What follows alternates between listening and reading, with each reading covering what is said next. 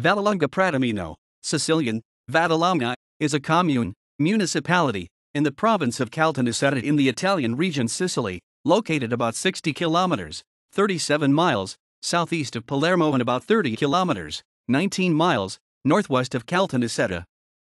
Vallelunga Pratameno borders the following municipalities Cammarata, Castronovo di Sicilia, Polizzi Generosa, Sclafani Bagni, Valledolmo, Villalba.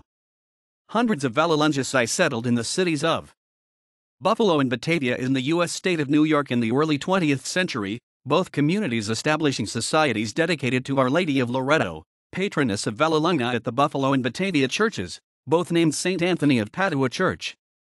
The annual feast is celebrated on the fourth Sunday of September,